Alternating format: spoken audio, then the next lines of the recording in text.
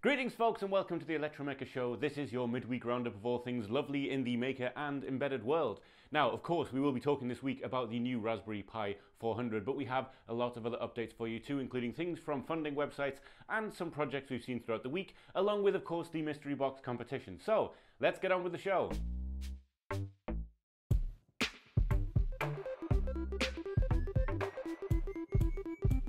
So first up this week, we are of course talking about the new Raspberry Pi 400, which in case you haven't noticed, although it has been everywhere in the last day or so since it's been released, um, it is a Raspberry Pi, it is inside a keyboard. In fact, the same keyboard that was originally just the standalone Raspberry Pi keyboard. And here it is, and it does look exactly like a Raspberry Pi keyboard.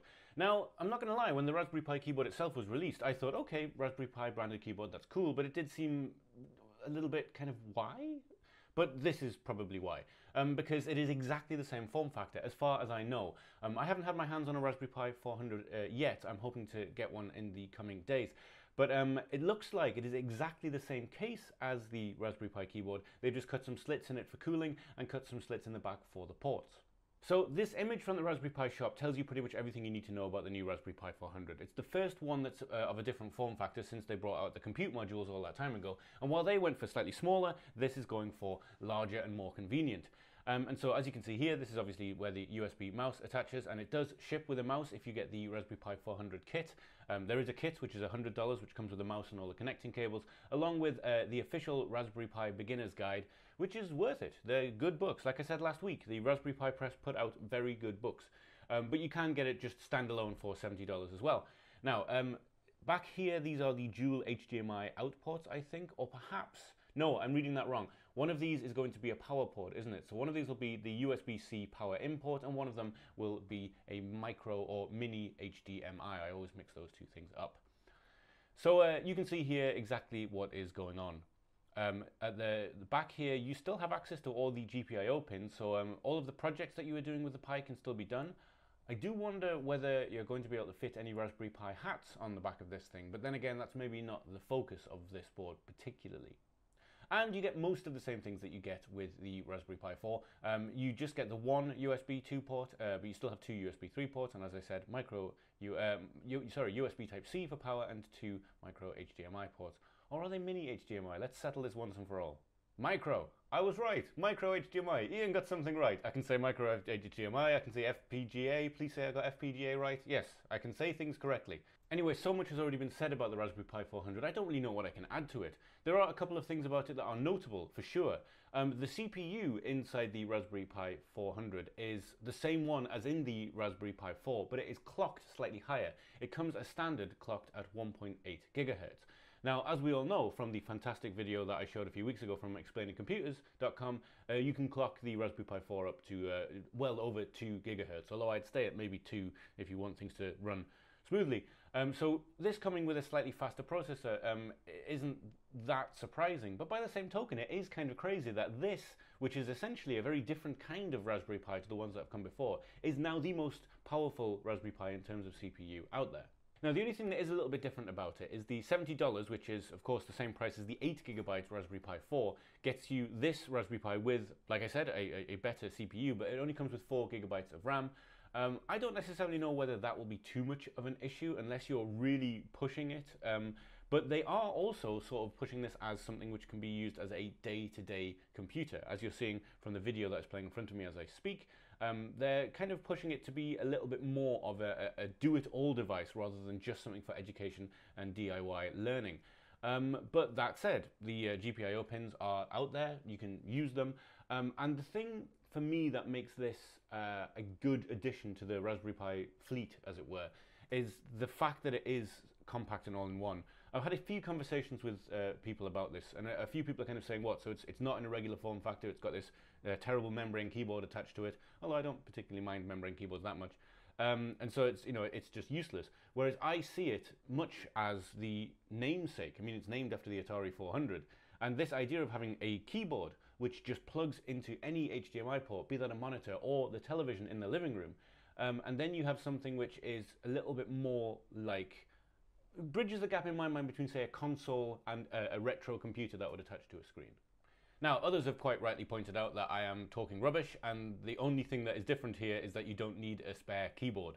Um, the opinions are going to be divided about this one, but I certainly think that uh, for the use case that I just mentioned, this idea of uh, you know not having to pull out an extra monitor and stick it on a desk that may not have much space on it in order to use a Raspberry Pi, say with your kids, and just being able to attach the Raspberry Pi to the computer and a mouse um, and bear in mind that uh, if you have any kind of casting or wireless HDMI capabilities, then that's going to be a great thing you can use for this as well. This could be uh, something that you keep on the sofa and have a wireless mouse next to you and just cast straight to the screen. And of course, let's not forget that this is a powerful CPU, the same CPU that is in the Raspberry Pi 4, and that RetroPie and other retro gaming outfits work now on that architecture. So you could have the perfect sort of do-it-all little machine that includes retro gaming in your living room, and that to me is so damn cool. Like I, am I'm, I'm pretty sold on this. I think you can maybe tell. So before moving on, one last interesting thing about this to me is that um, it is much like the Raspberry Pi 4, passively cooled. Now I know the Raspberry Pi 4 when it first came out had some cooling issues, which I believe were fixed by firmware, um, and I've certainly not had any trouble uh, with my Raspberry Pi 4 that I'm using um, over here. Uh, that is uh, not being overclocked, if I remember correctly, so that might have something to do with it. Um, this is also passively cooled, um, and it's in a, enclosed in a case, which makes me wonder how on earth they've managed to do it. Um, I do wonder, without wanting to doubt what they've made here, I do wonder whether uh, long-term use, especially if it is being used with televisions in the living room and it's on carpets or even worse, on people's knees, if overheating might eventually be an issue. Um, but keeping the heat down on even laptops if they're on your knee, no matter how good the laptop is, is something that is not a complete science. No one's managed to fix that yet.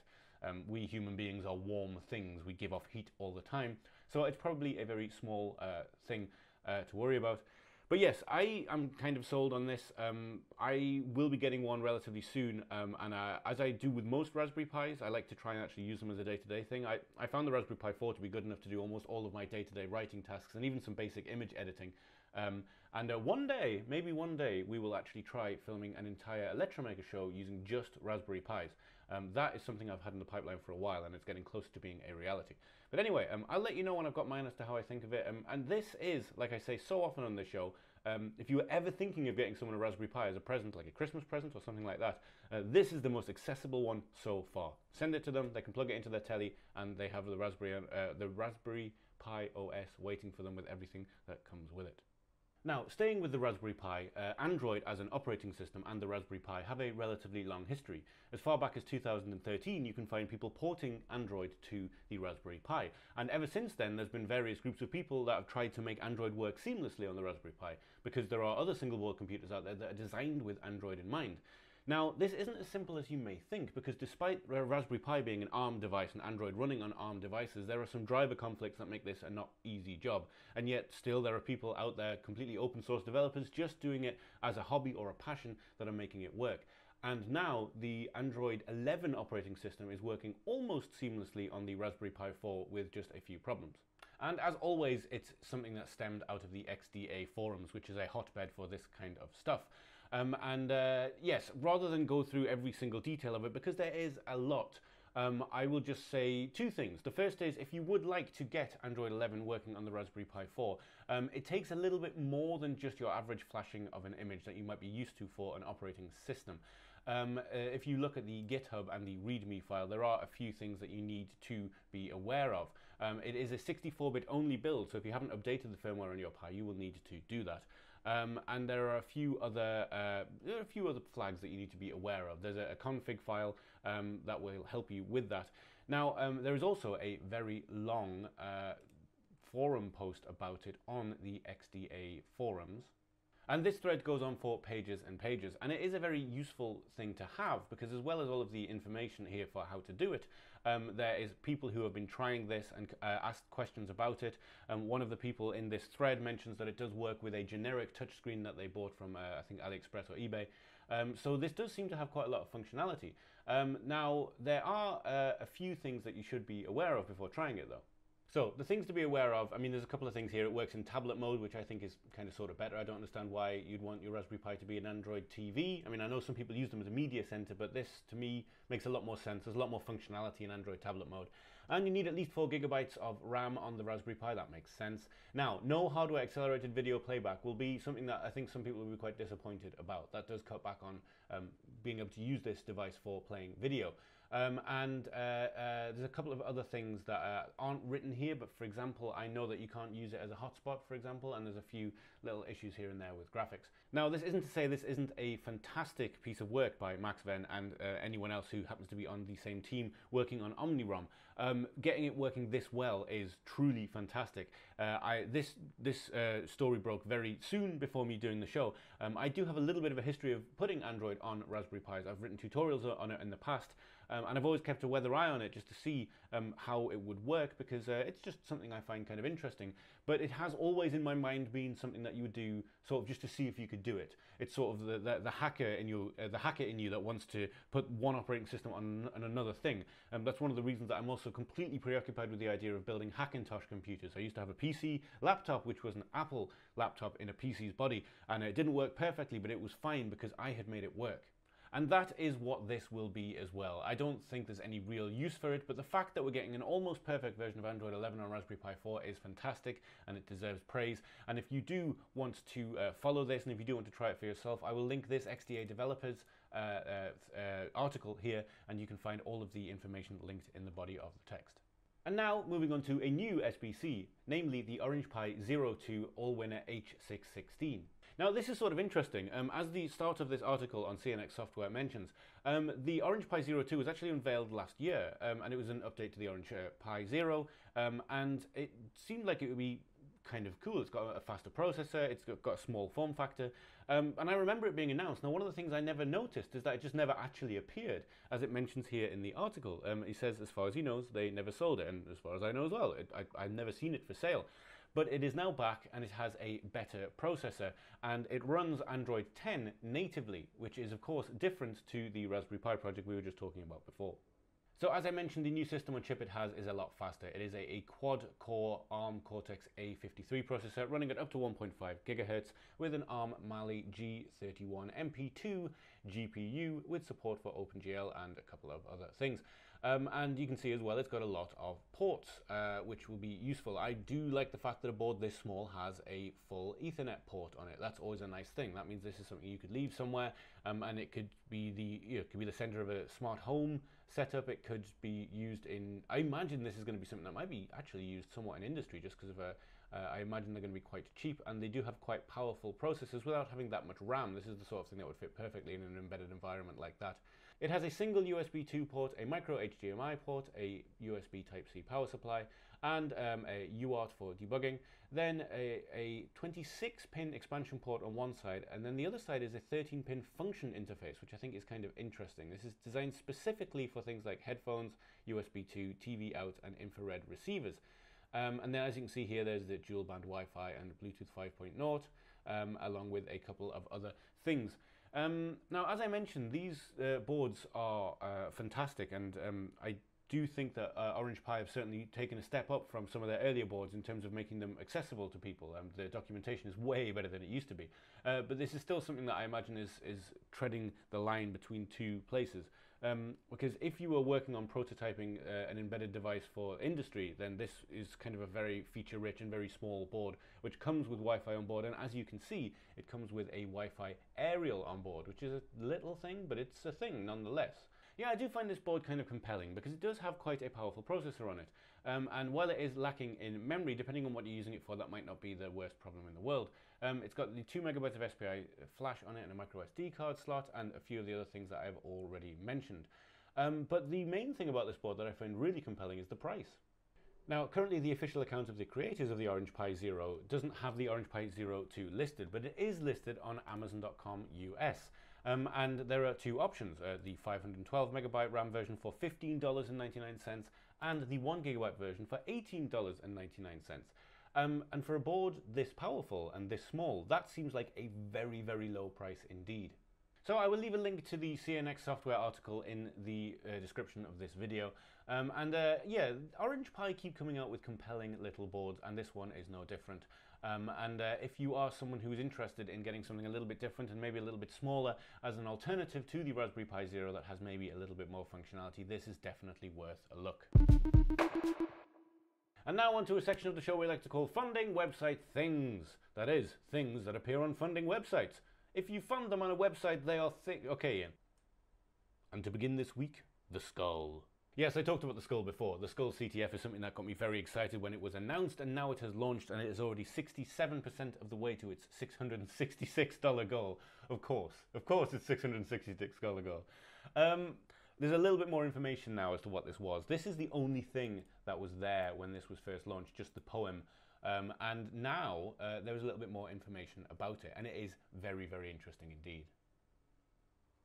And as with most capture the flags, they've given maybe a little bit more details as to what it is, but really not very much. Uh, the idea here is that you are supposed to work out what to do and how to capture the flag, which is inside the brain of this skull.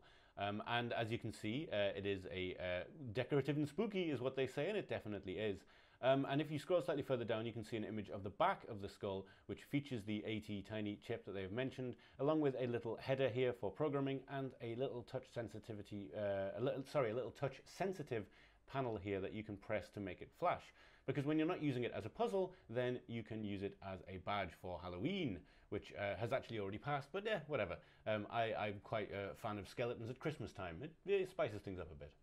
And when I say there isn't much information about the puzzle here, I mean it. There's a lot of well-written stuff here, but the only actual useful information is the things you will need is the ability to read and understand Arduino code, a willingness to spend some quality time with the AT45 datasheet, and some basic programming skills.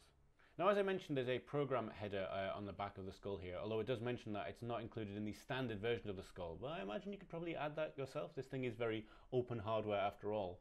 Which means that even if you didn't manage to solve the puzzle or had no interest in doing so, what you have is a very stylish little ATtiny board that you can use to learn to program ATtiny 45 chips.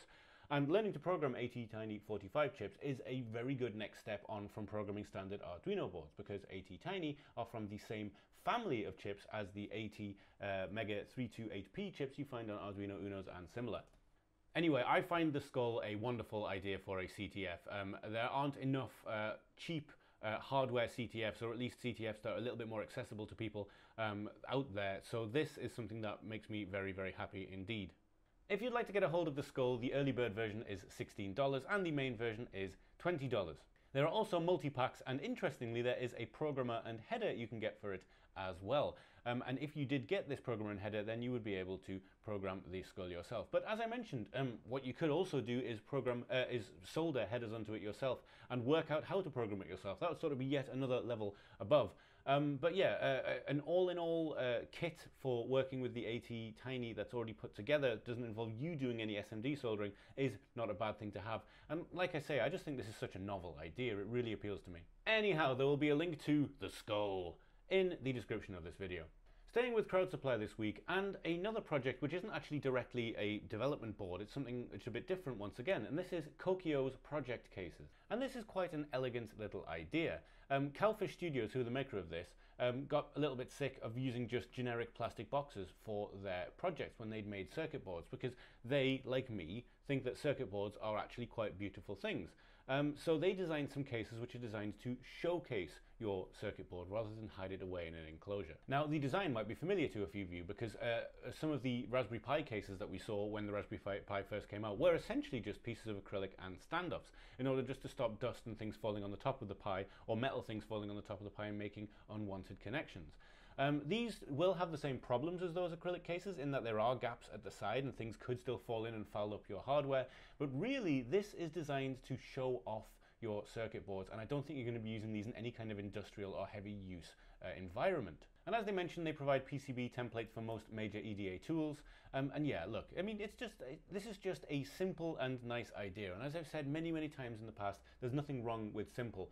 Um, they may not be the only people who are doing this. You could absolutely just do this for yourself. Um, but there's an elegance to this, in my opinion. There's some nice design behind it. And given that the small project case is only $20, um, as is the medium case, as is the large case, as is the extra large case, all just $20, um, it's certainly worth a look if you are someone who creates your own printed circuit boards. Anyway, as always, I will leave a link to the Koki'o project case in the description of this video. Um, and if you do end up getting one and you do end up putting one of your printed circuit boards in it, send me a picture. I'd love to see it. And now moving over to Kickstarter and something which is obviously very exciting for me because it is a microcontroller audio digital signal processing board. That's right, this Opus Max board is based on the STM32. Uh, I can't remember exactly which chip it is, I will look that up again in a second. And as you can see, um, uh, uh, it is a board designed with audio in mind. Um, it has various inputs and outputs and they are 24-bit DACs on them and as you can see from this chart here 24-bit uh, uh, analog to digital converters and digital or, and digital to analog converters well it's hard to say um, along with a bunch of other things that make it perfect for making sound and music and uh, changing audio on the fly. Now, I think the main use case for this is that you are going to want to plug things into one end, put effects on them, and plug it out of the other end. Um, the Kickstarter itself uh, is a, lot of text without much in the way of images, um, and of course I'm not going to read through all of it. Um, to me, this is absolutely fascinating. This is something that I don't think either the Raspberry Pi or any kind of Arduino boards have come close to. Um, I know I seem to mention them in almost every single show that we do, but this is definitely closer to something like what Bela uh, does with their platform. But of course, Bela is very small um, and has limited inputs and outputs, um, which uh, whereas this uh, is something which is a lot larger. Um, and uh, I'm going to have to go back into the video to get an image of it. There we go. Um, obviously, a lot larger, has uh, audio inputs and outputs as standard. Um, yes, this is a massive wall of text that I have skimmed through um, I think the uh, things that most people will find interesting here is, like I said, uh, there are two stereo uh, out uh, 3.5 millimeter audio jacks with 24-bit stereo DACs, two stereo uh, audio jacks with stereo uh, analog to digital converters, for MIDI in, for MIDI out, and then a USB type USB type B connector for power, and a USB type A connector for communication with USB devices like MIDI controllers, a micro SD card slot, and an expansion connector with a 40 pin pin header. Um, now, uh, this is a lot to go through, but what I have picked up from this, just from reading through it about uh, reading through it, is that this is meant to be something that is completely lightweight. Um, there's no operating system on here. Um, they go into why they chose not to actually do uh, run a Linux operating system on the board in here, um, and why they're doing it completely on hardware. Um, uh, and yeah, there's there's a lot to this. Um, again, there's a wall of text, not very many images for me to show you, and I don't want to bore you by just reading stuff off the Kickstarter, but in short, um, this is a very interesting alternative to other microcontroller or single board computer uh, versions of audio digital signal processing, um, and it's certainly worth a look. Now, one thing that might pull people off is the price. Um, as it's saying here, uh, it's around 136 euros. Um, and that might be a little bit more than some people are willing to pay. But this board does offer something that I don't think any other one does. This is a very low level way of working. Um, as you can see next to it here, actually, one of the uh, things that they provide is a config file to auto-generate the source code using STM32Cube.MX, um, which is a, a, GUI tool that you can use to uh, generate all of the configuration things you would need for any particular STM chip um, in order to then program it. Because if you ever worked with the uh, STM32 chips, using STM's own uh, software, it's quite a learning curve to even just set a chip up to use it. Um, and so uh, this is not something that's going to be for absolute beginners. This is something that's going to take a long time to get used to if you're not already familiar with this kind of programming. If you don't know much about dig digital signal processing and programming, programming microcontrollers, this is going to be something you will have and learn with for a long time. Um, but I didn't want to uh, put this show out without mentioning it just because uh, I'm someone that kind of keeps their ear to the ground somewhat in terms of things like this. And this one did stand out to me as being slightly unique. Uh, mystery box competition! Yes, indeed, this is a mystery box competition. I've done this so often that I don't think I need to explain it to you. This is a mystery box. You can win something from it by leaving a comment on the video. I reach in, I grab something, and I pull it out. And this is a wireless connectivity cape, element 14. Ah! Add Wi-Fi, Bluetooth, Zigbee, and NFC functionality to the BeagleBone Black. Now, since I've started this competition, I did say that I did suspect at some point there would be a prize that might not be 100% useful to the winner unless they had specific equipment. This is the very first time that has happened. Because what I believe this is, is a Wi-Fi cape for the BeagleBone Black Mini Linux computer. So unless you have a BeagleBone Black, this might not be all that useful for you. However, perhaps winning this as a prize might interest you in getting started with BeagleBone. They do have a very, very nice way of doing things. I'm quite a fan of BeagleBone. Um, so yes, uh, we have a prize now, so all we need is a winner. Just before we do that though, I'm going to try and hold this up to the camera just so you can see what I'm talking about. As you can see, this is in the familiar BeagleBone form factor, but if you look at the bottom, there, there are all the pins that will attach it to the baseboard, which would be a BeagleBone baseboard. Now, this is a fairly powerful little Wi-Fi attachment. Um, it doesn't just do Wi-Fi, it also has Bluetooth 4.0 and Bluetooth low energy capabilities. And as I mentioned before, it's compatible with things like Zigbee.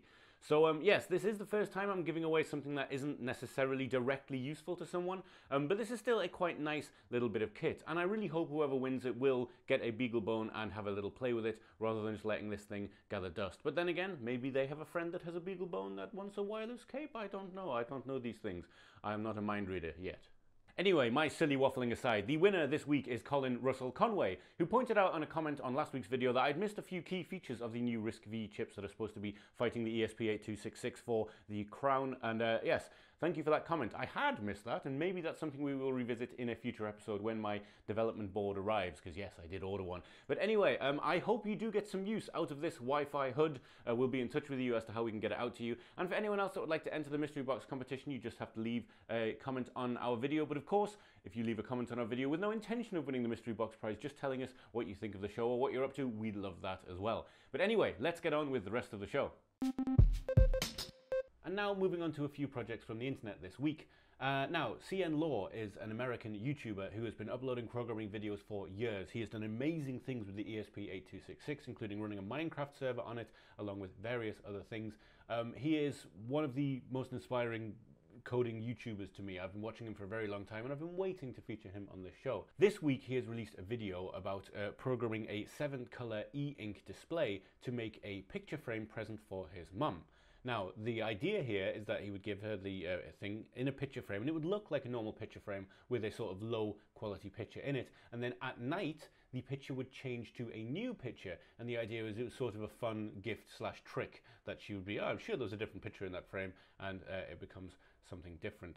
Um, now, he has uh, live streamed the process of trying to get this thing working, and his approach to uh, this is uh, exactly the kind of stuff that I've talked about on the show a few times. That is something that's in my mind as something I'd like to do because he uh, he programs in pure C in a regular text editor and uh, just is yeah he's uh, Mr. Computer Science as far as I'm concerned. Um, and uh, this is an example of something that perfectly uh, shows how you can interface with different peripherals using different chips.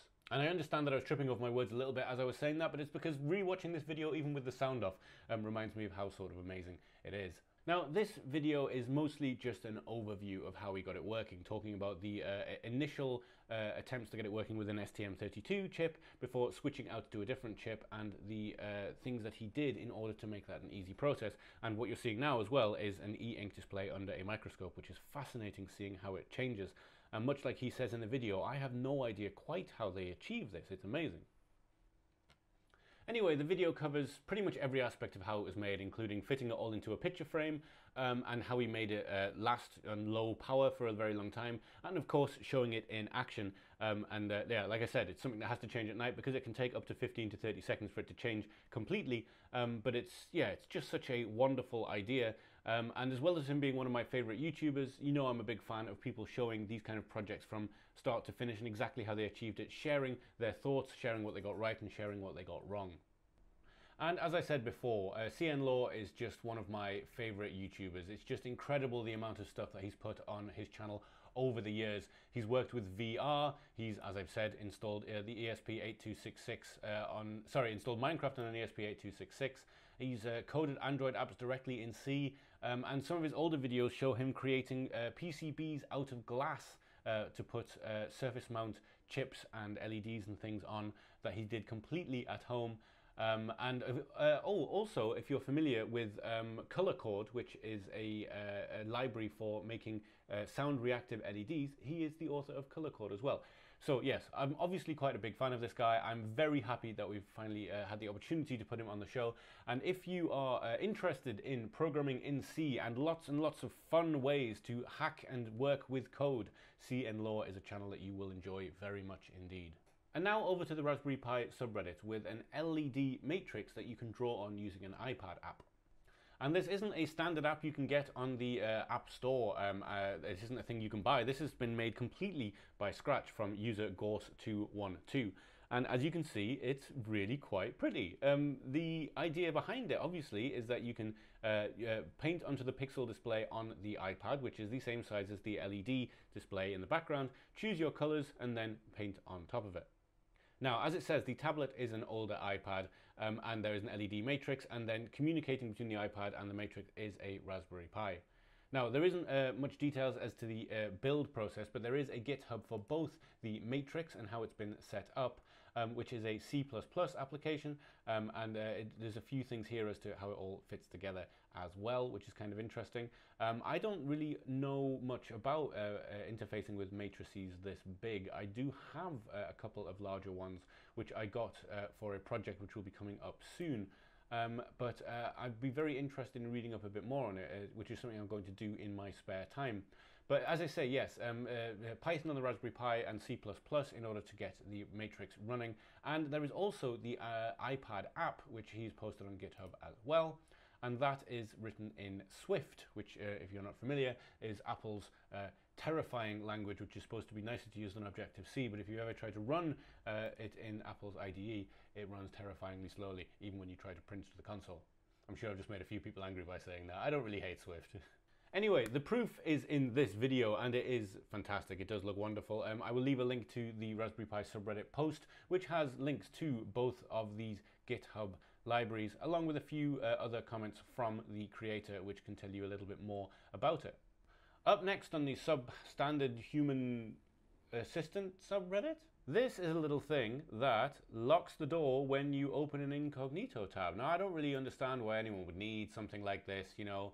When you open an incognito tab, I don't really understand why you wouldn't want anyone coming in the room or anything like that. now, I saw this video on the uh, substandard human assistant subreddit, the uh, the the the not so goody robots subreddit, um, but it was actually uh, ripped from a video from the Useless Duck Company, um, who I believe we have featured on this show before, actually.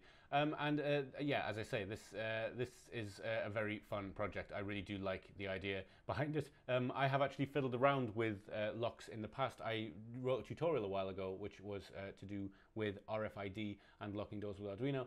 Um, and this is, it's actually kind of funny because when I first saw this, I was going to make a joke about how, oh, yes, well, I absolutely need incognito mode because what I like to do is uh, open an incognito tab and I, I need to make sure that the door is locked so that, my, uh, so that my partner doesn't come in and catch me looking at test equipment from the 1970s because that's kind of what I'm looking at at the minute. I really want to get some big boxes of test equipment and see if I can make them make music. Anyway, um, this is, uh, again, something I say over and over again. A nice, simple project, linking one thing to the other. Just uh, working out how you can make one thing on your computer, communicate with a microcontroller, and communicate with that microcontroller to act on the world around you. Whether you do it via USB or whether you do it via, via Wi-Fi. Having a project in mind is the best way to learn things. And I will link this video in the description, which tells you roughly the approach that was taken, and of course is very funny. And finally, a project on the Arduino subreddit from DIY Maxwen, who we have featured on the show before. He was the one that had these, those amazing little stop motion Lego bricks that were designed to uh, uh, work as a camera mount, which was actually from the 3D printing subreddit. And he is back with an indoor hockey game. That's right, this is a hockey game made for his son using an Arduino and a 3D printer. The puck gives light and sound effects depending on the acceleration, and much like his last video, there is a wonderful stop motion video alongside it. Um, I do think this is an incredibly inventive way to show off your project. Not only do you get to show the amazing project at the end, you get to show a, a very charming animation. Um, and yeah, um, I'm going to sound like such a stuck record because this is a lovely little project, a very nice thing to put together. Um, and uh, as you say, uh, if this is a, a, project for his son, uh, this is something that I am very interested perhaps in making one day for my son. Although right now I'm not sure whether he would so much hit it along the floor like a hockey puck or throw it directly through our living room window. But there is also a YouTube video from the maker that goes into a few more details as well. But yes, it certainly does seem like it is a very popular thing uh, with the intended recipient. Um, and yes, I will leave a link to this Reddit thread in the description of this video. And in the Reddit thread, you can also find a link to the video. Um, and yeah, it's, uh, it's probably my favorite thing I've seen this week. Um, the idea of using a small Arduino with an accelerometer and some LEDs is nothing new. I mean, using accelerometers to change sound or LEDs is a very, very beginner project, but to put it into something as nice as this and make it a gift for a child, it just gets every tick from me. What a lovely project.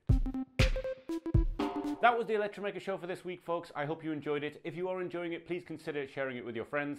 Um, any comment left on this episode will enter you into the mystery box competition. But whether you want to be in the competition or not, as I always say, I am very interested in hearing what you are working on at the minute.